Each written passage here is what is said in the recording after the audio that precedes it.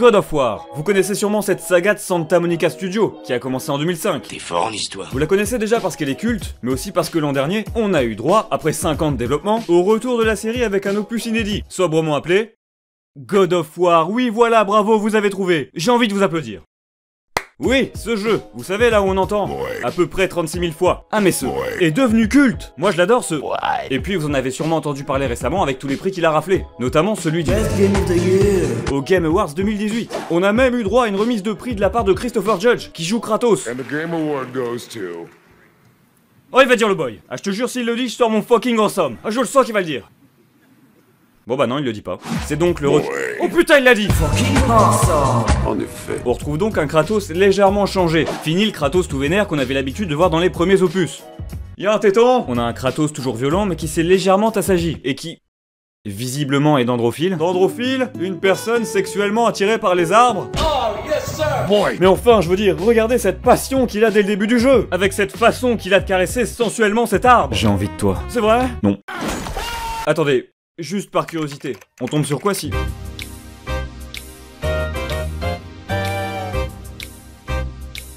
Ok, je regrette. On retrouve notre ami Amidgard, et non plus en Grèce. Vous l'avez deviné, on va massacrer les dieux nordiques. Et cette fois-ci, mesdames et messieurs, on est accompagné d'Atreus, le fils de Kratos. Et oui, Kratos a un autre enfant. Félicitations, mec. En espérant que celui-ci, tu nous le tues pas. Si tu vois ce que je veux dire. On retrouve donc notre duo au début du jeu, brûlant la défunte mère d'Atreus, et donc la femme de Kratos. Elle brûle pas vite la putain Oui, oui, le jeu commence vraiment comme ça. Le gosse a perdu sa mère, elle est morte. Champagne Ce qui fait qu'Atreus maintenant est tout seul avec son père. Et c'est sûr, c'est pas tous les jours facile. Qu'est-ce qu'on chasse? Tu chasses le cerf. Où ça? Là où se trouve le cerf. Grosse ambiance Le but de nos deux héros sera donc d'atteindre le sommet de la plus haute montagne, pour y déverser les cendres de la mère d'Atreus. Et soyons clairs tout de suite, même si la relation Kratos-Atreus peut parfois sembler légèrement stéréotypée, celle-ci reste intéressante. Kratos est un dieu et le cache à son fils, et ça entraîne inévitablement des remises en question et certaines mises en garde pas forcément compréhensibles pour l'enfant. Enfant qui est bien évidemment troublé psychologiquement. Regardez-le ce pauvre garçon, il a clairement besoin d'une assistance sociale. Oh, il est tout colère Ah oui, donc il va vraiment pas bien en fait. Depuis que ta mère est partie, tu as changé, Atreus. Je ne vois absolument pas ce que tu veux dire. Je ne fais actuellement rien d'anormal. Pour lui, c'est une sorte de parcours initiatique, si vous voulez. On sent que Kratos veut lui faire profiter de son expérience. Il est dur, mais juste. On le voit par exemple quand il réprimande son fils sur le fait d'être trop manichéen concernant la guerre entre les elfes noirs et les elfes blancs. Bah ouais, faut bien l'éduquer ce gosse, vu que des fois il fait sa crise d'ado. Non mais je veux dire, regardez comment il parle de Kratos quand il parle au cadavre de sa mère. Il me parle jamais. Il veut rien m'apprendre. Ça aurait dû être lui. Tu m'entends? Lui Pas toi. Non mais oh Comment tu parles de ton père Au début du jeu, on croise rapidement un troisième personnage, cet homme. Et je ne sais pas qui c'est exactement. Ah ok, donc c'est lui le méchant. Je suis méchant. Ah oui, c'est pas l'amour fou entre les deux personnages. Et va te faire enculer. Moi j'étais prévenu. Moi j'ai. Mais on aura bien évidemment d'autres personnages, comme Brock et Sindri, deux frères qui font office de marchands dans le jeu. On aura aussi la mystérieuse sorcière de la forêt et une tête, Mimir. D'ailleurs, ces deux derniers personnages s'aiment plutôt bien. Qui est bien, c'est que Mimir nous donnera de précieuses informations. Oui, Mimir, vas-y, conseille-moi. Faut suivre le conduit. Oui, je savais, oui. Et on s'attache à ces personnages. Vraiment, c'est plaisant de suivre l'évolution de leur relation. Mais quand il parle, je comprends pas un mot. Personne ne le comprend, hélas. Il parle une langue morte. Morte Comme ta mère, Atreus Oh, ça c'est pas très gentil Et on s'émerveille devant certains, comme ce serpent, qui répond au doux nom de... Yor... Yormou... Ok, envoyez la transition bas. Mais non putain, pas celle-là Le tout est embelli par un très bon rythme, octroyé par une alternation quasi parfaite entre moments d'action, touchants ou d'exploration. Et la mise en scène, mon dieu, mes amis, la mise en scène Elle est folle le jeu est un long plan séquence, aucun cut, la caméra les suit en permanence. On aime ou on n'aime pas, mais d'après moi, ça sert l'immersion. On n'a plus que jamais l'impression de faire partie de l'aventure. Et on prend encore plus plaisir à voir l'évolution de la relation entre Kratos et son fils, surtout avec des dialogues particulièrement bien écrits. On a souvent des discussions entre les personnages au cours de moments plus calmes. Maman m'a emmené chasser plusieurs fois. Mais toi, t'as jamais voulu. Pourquoi le faire maintenant? Ah, moi je sais, moi je sais. Parce que maintenant elle est morte. Hein, Atreus, tu te rappelles? Euh, Elle est morte.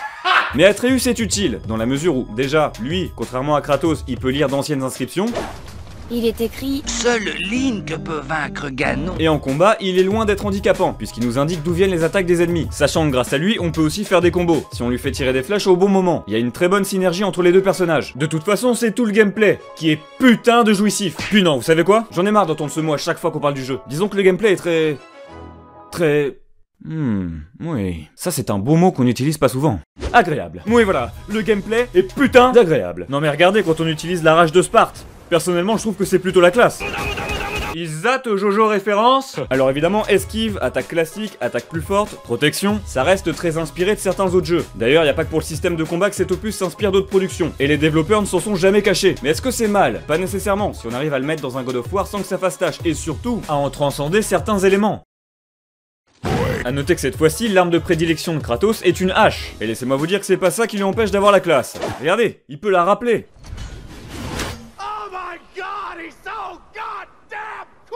Même Christopher Judge peut le faire. Il n'y a pas de trucage. De toute façon, dès l'annonce du jeu, tu sentais que les gens ils aimaient l'idée. Le public est en effervescence En revanche, je regrette qu'il y ait moins de démesures. Il y en a, mais beaucoup moins qu'avant. Et le fait que les boss soient tous plus ou moins oubliables, hormis deux ou trois, n'arrange rien. Et le bestiaire. Oh, le bestiaire. Faut en parler. Les drogards. Vous prenez des monstres de la mythologie germanique. C'est très bien, il y a matière à avoir des ennemis super cool. Mais dans ce cas-là, ne prenez pas que ça alors oui, j'exagère, il a pas que des drogards. Mais merde quoi, on parle quand même d'un jeu qui baigne dans la mythologie nordique et germanique. Cette mythologie, mais y a tellement potentiel à prendre des ennemis originaux et surtout des attaques originales. Non parce que les mecs qui spamment les boules de feu, ça va deux minutes. Oh, et on n'oublie évidemment pas le fameux. Allez, on va leur faire le coup du même ennemi, mais qui est cette fois de feu, de glace ou de poison. Comme ça, ils croiront que c'est pas le même ennemi. Il y a clairement un manque d'inspiration dans le bestiaire. Et le pire, c'est que les finishers, qui sont plutôt classe, hein, sont toujours les mêmes pour un type d'ennemi.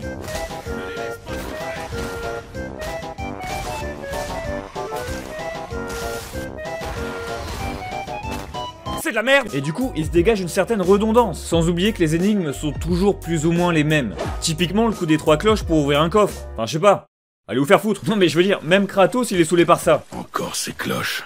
Mais encore une fois, heureusement que le gameplay lui est réussi. Et ce renouveau de la série ne plaira pas à tout le monde. Il y a une grosse dimension RPG maintenant avec de l'XP qui permet d'apprendre ou d'améliorer des compétences. Le loot d'objets permettant d'améliorer des équipements ou l'achat de nouvelles armures. Et pourtant, même si vous êtes un fan de la série originale, je pense qu'il y a véritablement pas mal d'éléments à tirer de ce jeu. En plus d'une très bonne narration, le jeu est artistiquement réussi. Que ce soit la flore, les effets de particules, la gestion de la lumière, l'eau ou même l'aspect de l'univers en général. Tout ça donne vraiment un certain cachet au jeu. Hormis les mines ou les grottes, les zones en elles-mêmes sont très jolies et parfois assez inattendues. Enfin regardez, quand on utilise un portail pour se téléporter d'un point à un autre, on se balade quand même sur des branches d'arbres géantes. Bon ok, on s'y fait chier mais bon. C'est original. C'est comme si on était dans une autre dimension pendant quelques secondes. Ouais, une autre dimension. Attendez une minute. Faites voir.